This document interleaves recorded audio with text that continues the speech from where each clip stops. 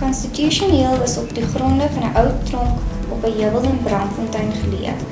Van die heuwel kan jy 'n groot deel van Johannesburg sien. Heelbraaf, dig bewolk en arm. Die groen noordelike voorstede.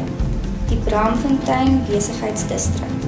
Die gedeelte van die ou tronk waar verhoorwagtenis aangehou is, is geskraap om plek te maak vir die konstitusionele hof.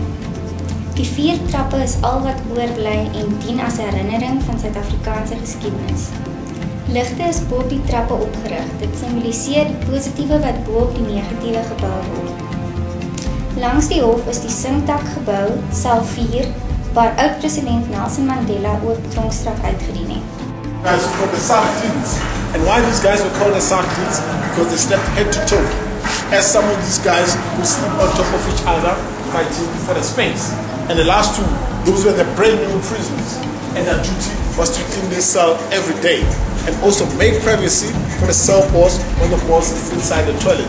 And how they used to do that, they would come with a blanket, cover one stand inside of the toilet, and the other on the side covering the toilet like that, facing the opposite direction, because they were not allowed to do what the boss is doing inside the toilet there. Ladies and gentlemen, we've got only one toilet for 60 to 70 prisoners. Prisoners should spend 16 to 18 hours in this cell.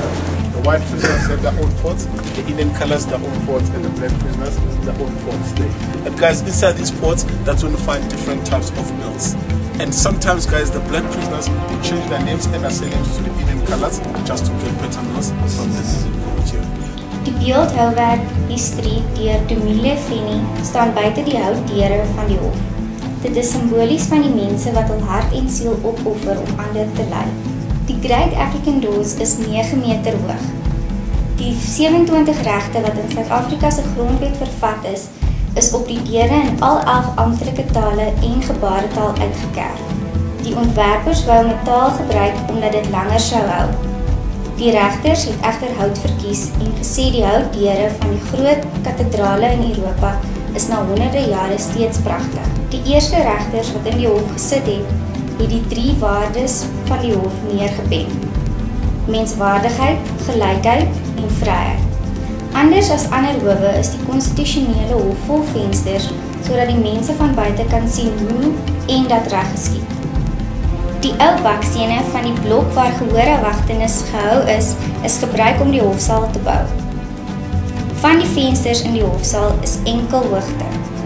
Die regters kan slegs die voete van die mense wat verby die hof loop sien, sodat hulle onthou dat geregtigheid vir almal is.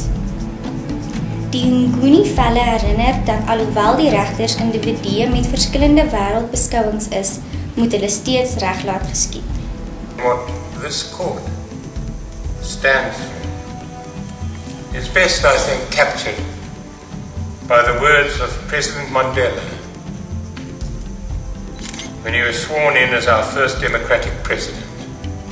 And when he said, never, never, and never again shall it be that this beautiful land will again experience the oppression of one by another.